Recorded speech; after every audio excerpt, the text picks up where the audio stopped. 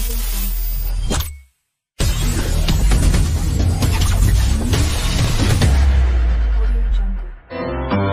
el coronel no tiene quien le escriba, el presidente sí. Ahora en el laberinto, Erika Alcaño Padre trae apuntes para la coyuntura.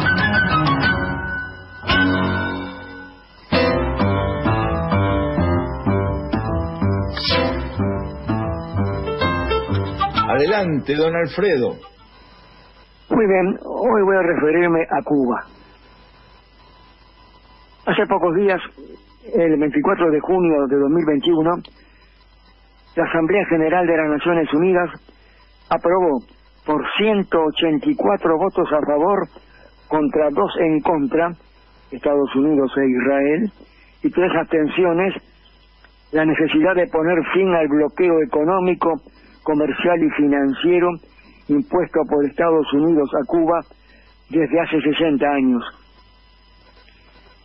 Y esta misma mañana el presidente de México, Andrés López Obrador, declaró que el bloqueo económico y financiero a Cuba impuesto por Estados Unidos es violatorio de los derechos humanos.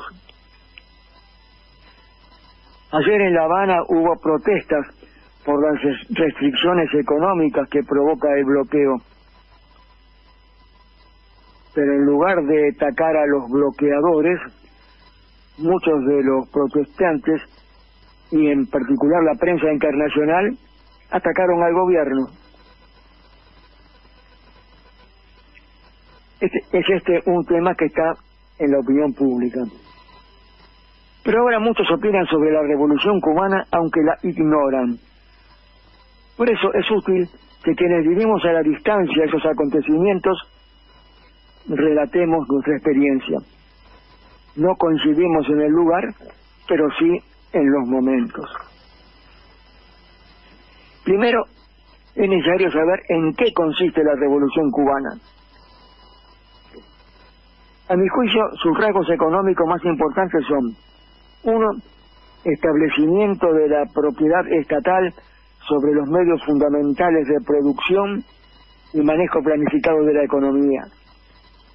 Dos, asignación de la mayor parte de los bienes y servicios por criterios diferentes a tener dinero.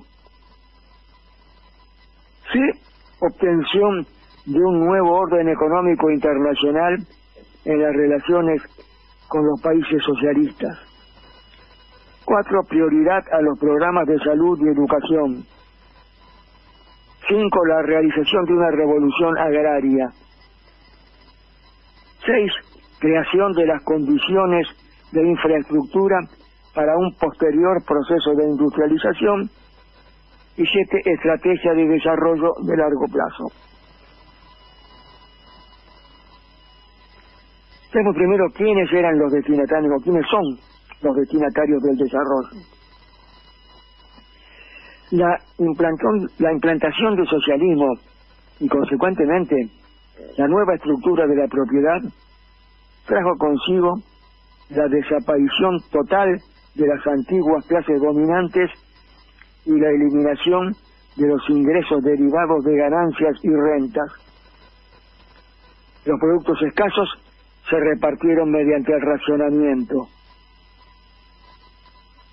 El acceso a los servicios de salud, educación, turismo, la posibilidad de disponer de casa y automóvil, se determinaron por criterios diferentes a tener o no dinero. Existió además pleno empleo y aumento del trabajo femenino. La asignación de recursos orientada a la satisfacción de las necesidades básicas de la totalidad de la población incluía un alto grado de participación popular a través de la organización obrera, campesina, femenina, los comités de defensa de la revolución, las organizaciones estudiantiles, etcétera. En otro ámbito se procuró equilibrar el desarrollo urbano-rural, estableciendo una corriente de población en ambos sentidos y dando a los habitantes rurales el mayor acceso posible a los bienes y servicios consumidos en las ciudades. En definitiva, el destinatario del desarrollo no fue el mercado interno ni externo, según el poder de compra que tuviera cada posible consumidor, sino la población cubana de modo masivo. En los primeros años de la revolución se modificó la estructura de la propiedad y los medios de, producción pasaron a ser de propiedad estatal. Dentro del enfoque integral, el desarrollo esbozado por los dirigentes cubanos destacan ciertamente las actividades del área de la política social, tanto por la magnitud de los esfuerzos desplegados como por los resultados alcanzados. Eso se obtuvo sin cambios sustanciales en la magnitud y estructura del producto. Obedeció a una transformación de fondo en la distribución de la propiedad y del ingreso. Se logró un cambio enorme en la distribución y se pudo destinar una cantidad mucho mayor de recursos a la satisfacción de las necesidades básicas de la población en atención al principio fundamental de igualitarismo perseguido. Bastará pensar, por ejemplo, en la cantidad de recursos que durante tantos años el país dejó de asignar a la importación de automóviles o a su eventual producción y en el, en el consiguiente ahorro de combustible que hubiera requerido. El estilo cubano estaría demostrando, en definitiva, que al no haber restricciones al proceso distributivo, una estructura productiva relativamente modesta como la que existía en el país, que agravaba una serie de limitación de recursos físicos y financieros, y era compensada parcialmente por financiamiento externo, no fue obstáculo para lograr el objetivo de satisfacer las necesidades básicas de la población. Dentro de ese planteo sobresale el hecho de que para la satisfacción de las necesidades básicas, el elemento fundamental no es tener o no tener dinero, sino que los bienes y servicios involucrados se asignan de acuerdo con otros criterios. Se marca de este modo una diferencia sustancial con la forma de adquirirlos en los países capitalistas. En ellos, la mayoría de la población trabaja y procura ahorrar dinero para mejorar su alimentación, tener acceso a los servicios de salud, educación y turismo, o para poder disponer de una casa o un automóvil. En el caso cubano, el racionamiento de alimentos los distribuye a toda la población de acuerdo con las necesidades básicas a muy bajos precios. Y si alguien desea consumir más, debe pagar un precio suplementario. Los servicios de salud y educación son gratuitos para todos. Los planes de turismo son sociales y para la asignación de los automóviles se da prioridad a quienes lo necesitan en función de su profesión. De todos modos, se privilegian los equipamientos colectivos con respecto a los individuales ómnibus antes que automóviles particulares, complejos habitacionales en vez de viviendas individuales, etcétera. En relación con la vivienda, se ensayaron diversos métodos para impulsar su construcción, tales como las construcciones estatales, las microbrigadas, las cooperativas, la venta de vivienda a quienes las habitan, descontando los alquileres pagados, con lo cual en la mayoría de los casos el precio está ya pagado. Asimismo, cabe destacar la construcción de complejos habitacionales en zonas rurales, con lo que se procura retener la población en esas áreas, dándoles acceso a servicios normalmente reservados a las ciudades. Otro rasgo fundamental de la Revolución cubana fue el impulso dado a los sectores sociales, en especial la salud y la educación puesto que no existía la posibilidad física de darle cosas a la gente, se volcó el esfuerzo en mejorar las condiciones de la gente misma.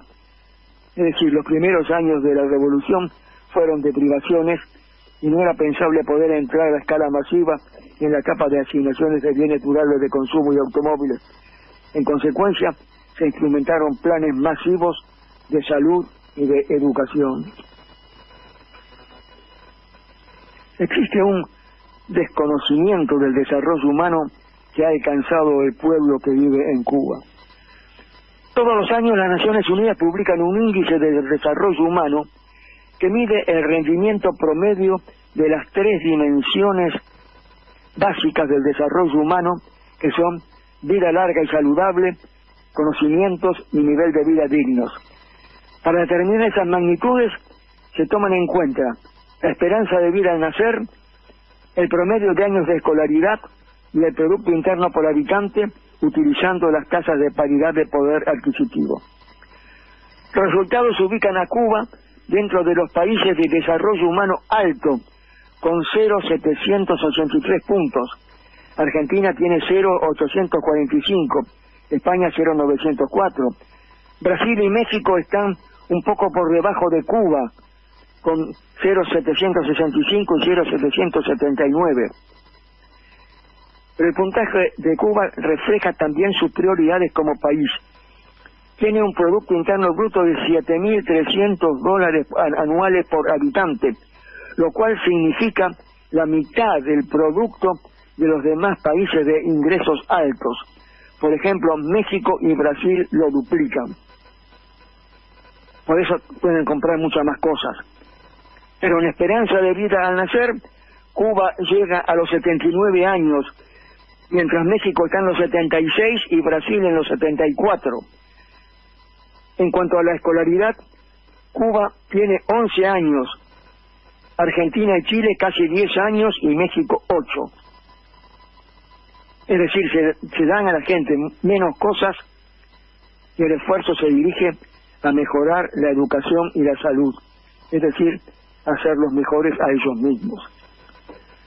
Bueno, creo que ha sido útil el conocimiento de cuál es la situación real de los del desarrollo humano que existe en Cuba en comparación con otros países latinoamericanos. Mañana seguimos.